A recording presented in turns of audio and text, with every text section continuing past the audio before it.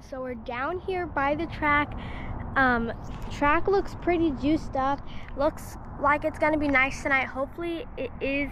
Last time they had a, a bit of a pretty a pretty big bump actually in one and two so hopefully it's smoother around there and hopefully just a smoother track surface and all. But i'm really excited to get to today. It should be a really fun night. Tonight we'll be racing two classes which will be the box stock and the 250 for the box stock really hoping to get a solid top three finish and possibly the win as well. And then for the 250 definitely want to get in the top five and possibly in the top three but it should be a really fun night. Like I said, hopefully maybe a little more than just one lane, maybe two lanes, maybe a high side, maybe a low side, but we shall see. We'll be starting it all off with hot laps and then we'll have two heat race and the main event following after.